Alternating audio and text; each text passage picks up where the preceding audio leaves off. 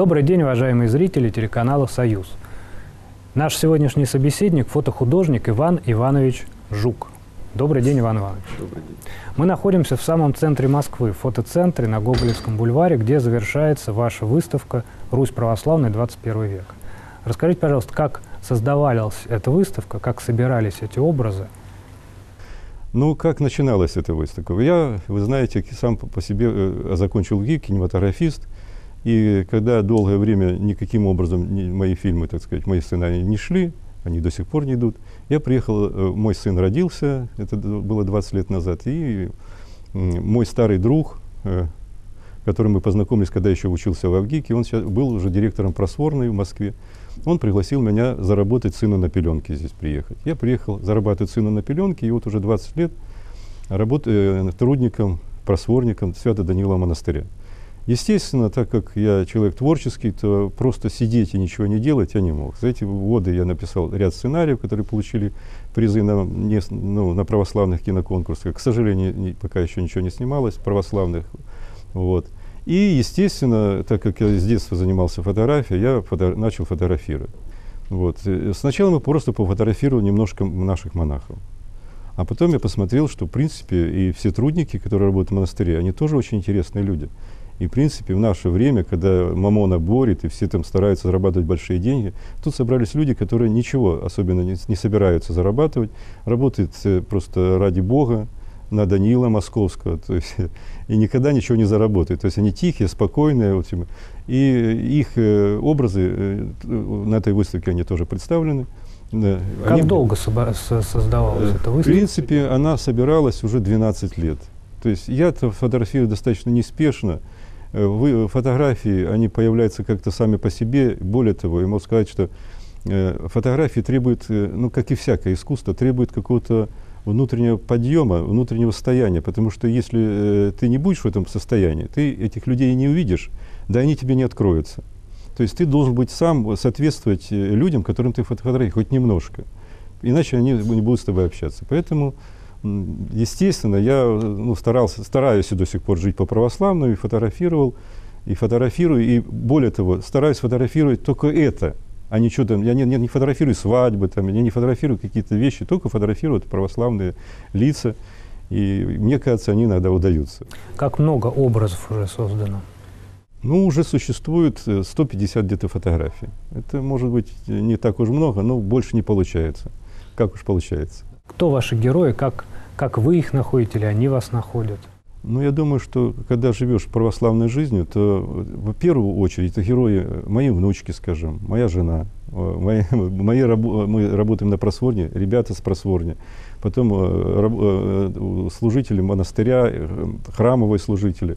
Потом, естественно, узнаешь о каких-то подвижниках благочестия, ездишь к ним – фотографируешь их, так, так скажем, как, как, патриарша духовника отца Илия Ноздрина или отца Ионикия в Ивановской области фотографировать ездил. То есть узнаешь э, известных людей, э, именно подвижников, и стараешься их сфотографировать. Или, скажем, матушка Фомаида, которая уже 11 лет живет на родине Макария Колязинского, одна в доме в заброшенной деревне возле полуразрушенного храма.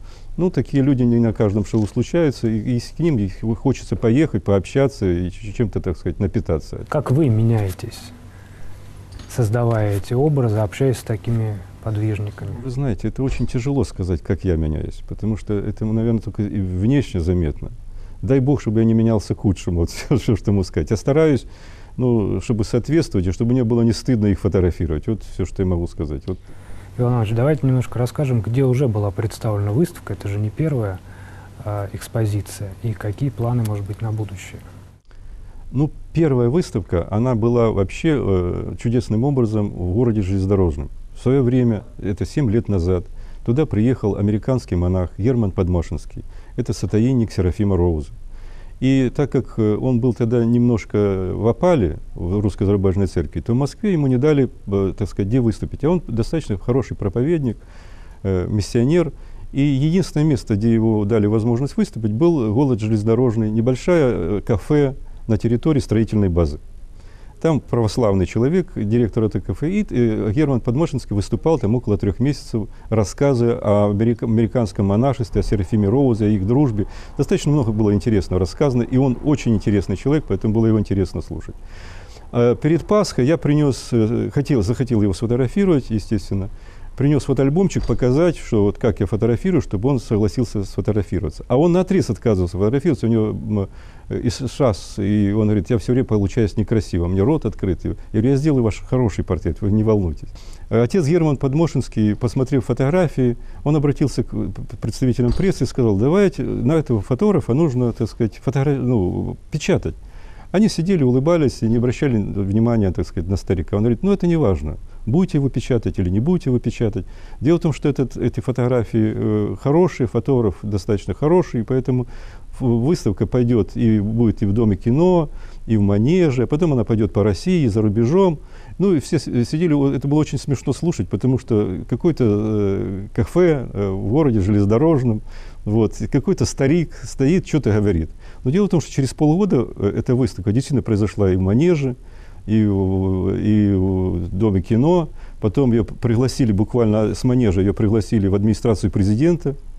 Потом она поехала по Руси. И в то же время у меня был друг, скажем, в Италии, в городе Баре. Она э, э пошла, пришла в Баре. Там как раз был, э, появился отец Андрей, новый, новый настоятель русского православного храма. Он эту всю выставку купил.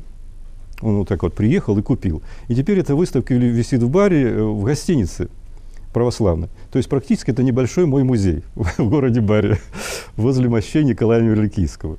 Вот. Э, после этого выставка была в Берлине, и вот э, где-то в феврале следующего года она, если все будет благополучно, она переед... уже побывает в Лондоне. То есть таким образом пророчество э, Германа Подмошинского как потихоньку так сбывается. Иван Иванович, мы стоим возле центральной части экспозиции. Может быть, возле центральной э, работы, которая представлена здесь на выставке. Расскажите, пожалуйста, о замысле этой работы. Сначала, когда я начал фотографировать это, э, свои работы, то э, окрыляла и, в общем-то, вела меня мысль Достоевского, высказанная 200, можно сказать, лет назад. Он сказал, что вне православия русский человек дрянь, хуже, чем ничто. Вне православия русского человека просто не существует. И мы видим, как только э, русский человек отходит от православия, его называют то советский человек, то, как сейчас, россиянин.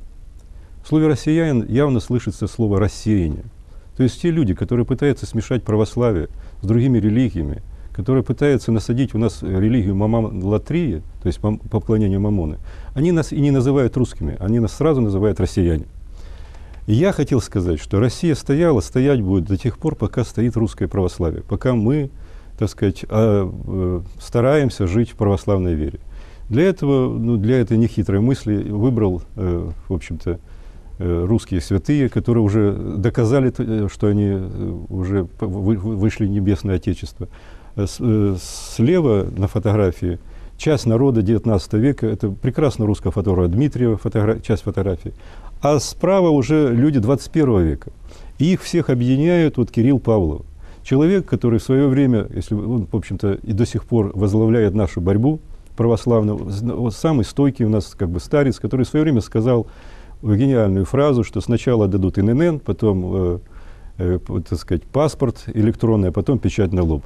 То есть его, к сожалению, до сих пор не слушают, но э, православный народ прислушается к мнению. Поэтому для меня он олицетворение, э, так сказать, православной стойкости, вот. И я в этой фотографии центральным образом ввел его. его. Вот. Э. Давайте немножечко расскажем о технике вашей работы, потому что где-то это э, простые, обычные, скажем так, по технике фотографии, а где-то это сборный коллаж, да, то ну, есть как это создается? Ну, вы знаете, вот недавно в Москву, по-моему, в прошлом году приезжал э, такой достаточно выдающийся английский фотограф Вилкин.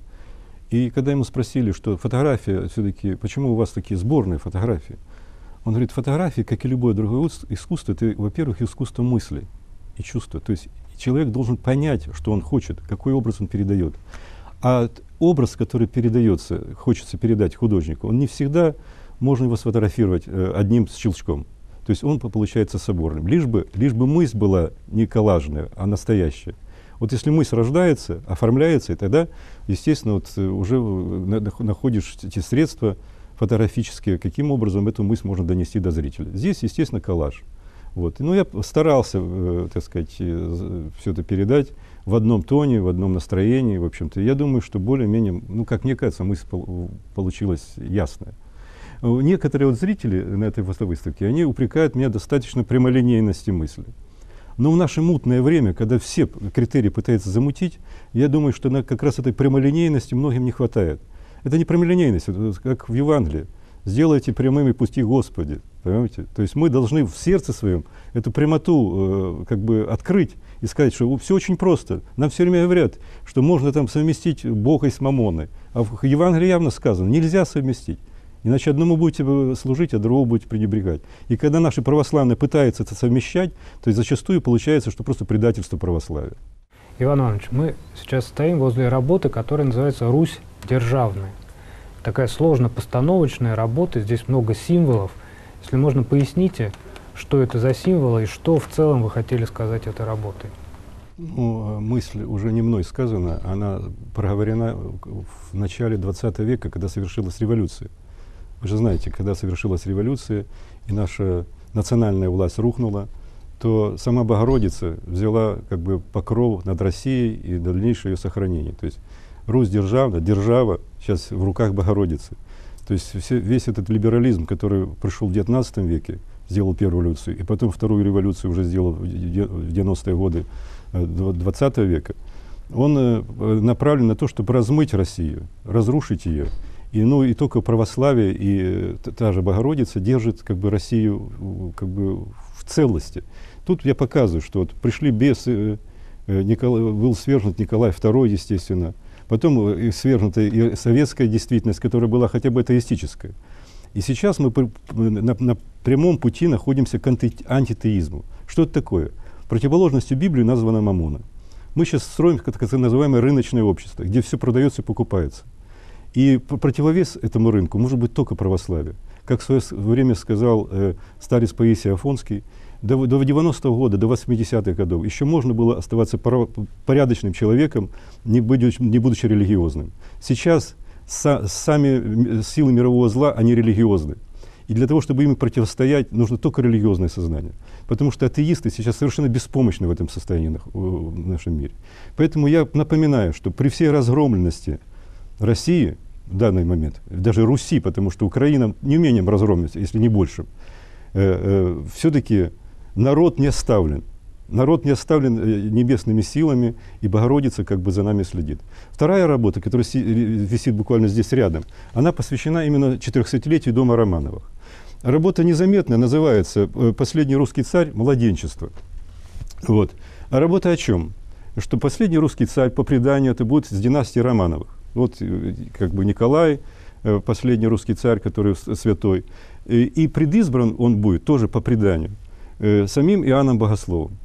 То есть все знают, что на небо были взяты точно два человека живыми. Это Илья и Енох.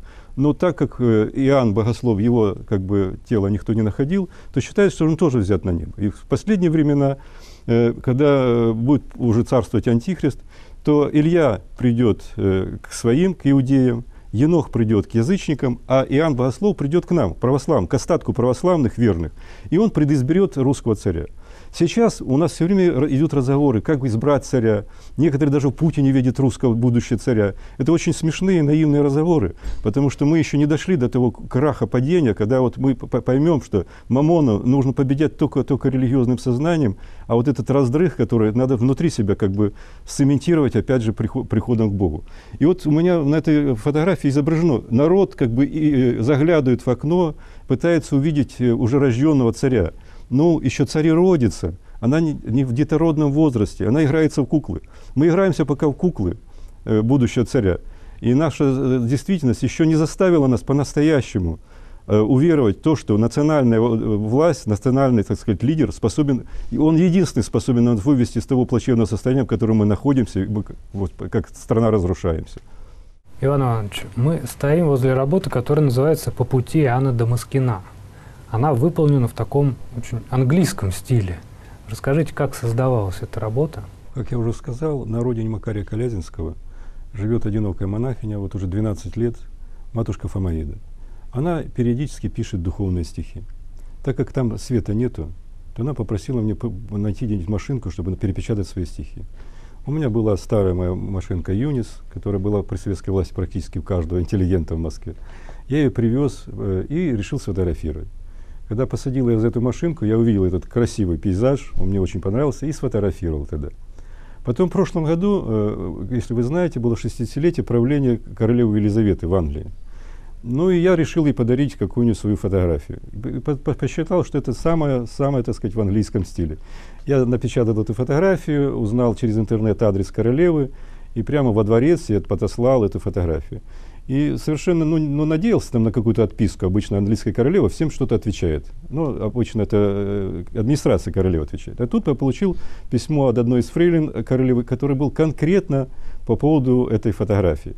То есть я в этой фотографии сравнивал английскую королеву с простой русской монахиней. Я говорил, это как два крила, которые держат наш мир от полного падения. Это монархический способ правления, ну, не в Англии немножко, скажем, искаженный, и монашество, так сказать, служба небу.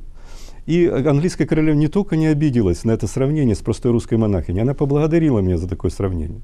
Иван Иванович, мы стоим возле работы, которая называется «Не бойся, малое стадо». Она была создана, насколько я понимаю, не так давно. Казалось ну, бы, прошло... 8 назад. 8 лет назад, но уже прошло много времени. Э, с начала 90-х уже вовсю шло возрождение православия на Руси, и все-таки до сих пор малое стадо. Почему вы так видите и что это за образ? Почему вам кажется, что мы, как э, православные, представляем собой именно малое стадо? Ну, если в мировом масштабе мы совсем малое стадо. Вот.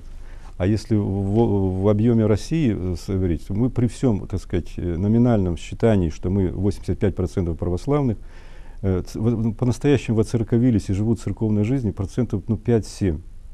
Поэтому к этим людям в первую очередь обращается э, мой, э, так сказать, голос и этот образ.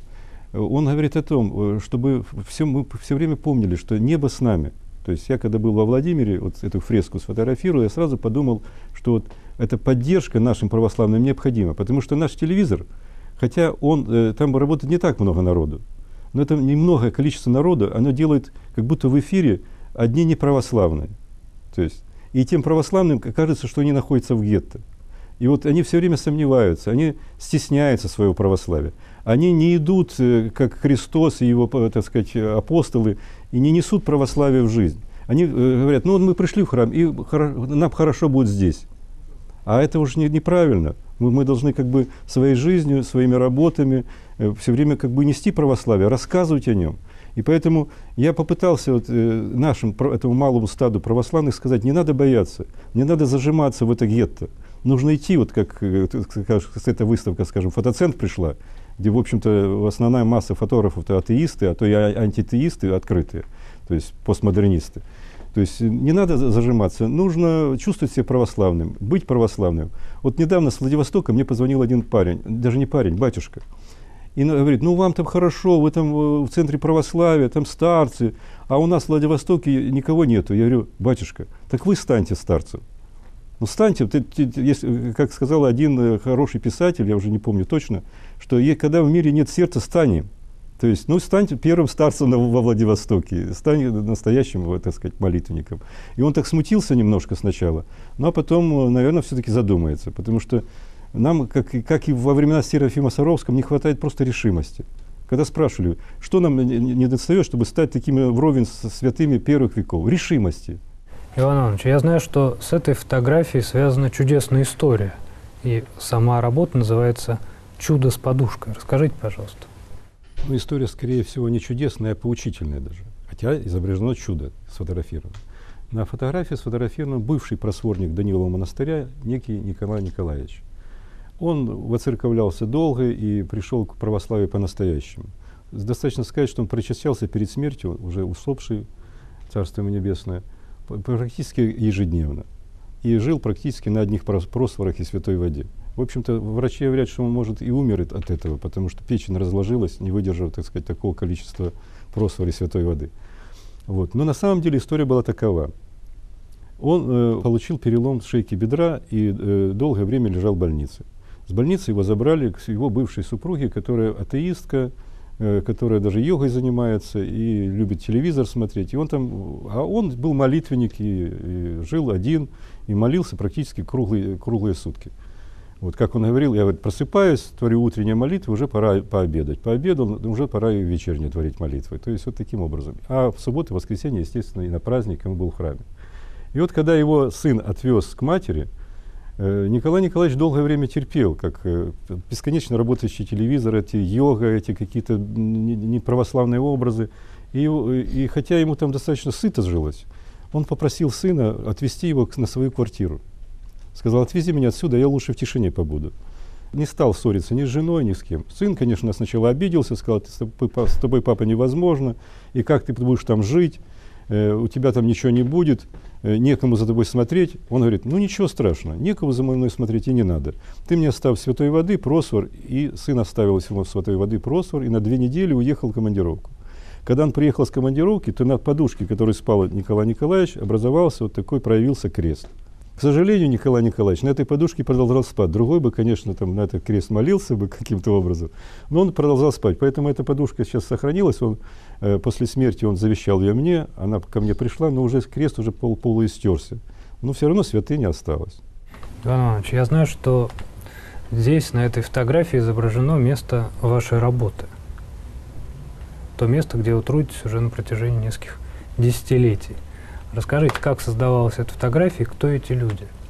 Ну, вы уже ответили на, на весь вопрос. Эта фотография создавалась на просворне Данилова монастыря, фотография пятилетней давности приблизительно. С этих людей уже два человека стали батюшками, а, один стал уже начальником просворни в другом месте. То есть у нас э, в Даниловом монастыре это как бы кузница кадров. Люди готовятся, воцерковляются и таким образом уходят потом в люди и, э, превращаются в батюшки. Ну а мы, в общем-то, с Аликом вот здесь вдвоем практически все время остаемся. Он уже 27 лет здесь на просворне работает, я уже 20. То есть, когда я, у меня родился сын, я жил тогда в это время в Сумах на Украине, я пригласил Алика, как старого своего знакомого, еще по, по Вгиковской паре, приехать стать крестным моего сына. Он приехал, стал крестным, и когда он ехал, он спрашивал, а что тебе привезти? Я ему сказал, ну, у нас все есть, так что приезжай и все. Он когда приехал, увидел, как, бы, как выглядит это наше все есть, он говорит, а не хочешь поехать э, в Данила монастырь, заработать сыну на пеленке? Вот я в твое время приехал зарабатывать сына на пеленке, вот 20 лет я их зарабатываю. Уже сын взрослый, уже э, при, сейчас приехал и со мной будет работать на просворне. Вот, да. Вот, и таким образом жизнь продолжается. Сам же Алик, вот он, вы, вы понимаете, он азербайджанец, вот, воцерковился 27 лет назад, как я уже сказал, у отца Артемия, вот, Владимирова. Вот. И вот на этой фотографии он э, уже с сыновьями. Вот.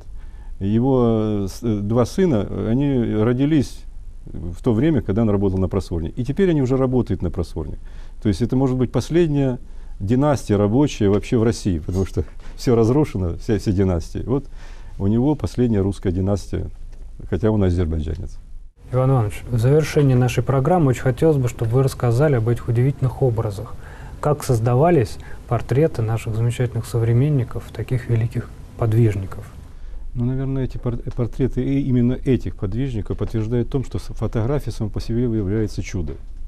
Потому что, скажем, э, Илья Ноздрина, духовника патриарха, я вынужден был фотографировать в маленьком коридоре, буквально на бегу, э, без всякого практического освещения. То есть э, один мой знакомый монах Оптиной пустыни держал зонтик, и я э, сделал всего два снимка. Один раз я сфотографировал, он говорит, ну все. Я говорю, да нет, а вдруг не резко? Он говорит, ну хорошо. И стал, стал второй раз. И эти два снимка сейчас путешествуют по, интернету, и, в общем-то, портреты получились замечательные. Если бы я долго-долго выстраивал их как-то, долго-долго думал, как это сделать, я бы лучше не сделал все равно. Поэтому это уже просто чудо как бы самой э, обстоятельств, чудо того, что Господь привел сфотографировать. Вот получился такой удивительный портрет. Со старцем Ионикием с э, Ивановской области история э, замечательна тем, что когда ему приехал э, туда фотографировать, э, то он сначала спросил, а зачем ты хочешь это сделать? Я не мог ему конкретно сказать, зачем. Вот. Ну, он говорит, ну хорошо, фотографируй. Попытался сфотографировать, а фотоаппарат заел. Я потом захожу, он говорит, ну хорошо, тогда э, я смотрю, у тебя фотоаппарат замерз, постой вот в этом доме, а это было зимой. Я сейчас приду, и э, я сфотографируюсь. Он в это время принимал э, людей, отвечал на их вопросы, и иногда заходил в дом погреться. И вот он, э, я захожу в этот дом, а все обито э, вагонкой. Посмотрел на эту вагонку и думаю, ну, как старца фотографировать э, в вагонке, подумать, что я его в бане фотографировал. Потом сижу и думаю, ну ладно, хорошо, я сейчас сфотографирую его здесь, потом сделаем монтаж где-нибудь в каком-то месте красивом поместим, может быть, даже в храме. В это время вскакивает отец Яникий, смотрит на меня и говорит, вы знаете, мы здесь фотографировать не будем, мы пойдем фотографироваться в храме. И я понял, что он читает мои мысли, то есть он знает, что я думаю. И тогда, конечно, фотографирование было достаточно сложно, потому что я был очень напряженный. Ну вот, портрет получился между тем, как мне кажется. Иван Иванович, большое спасибо вам за беседу и, конечно, за ваше искусство. Надеемся, что все больше и больше людей смогут увидеть ваши работы в разных регионах нашей Родины. Спасибо. Будем надеяться, что так и будет. Спасибо. И пусть весь мир ликует и поет, Распуженный пасхальным перезвоном, И слезы вдруг, как ручейки по склону, тает в сердце многолетний лед. Так пусть весь мир ликует и поет.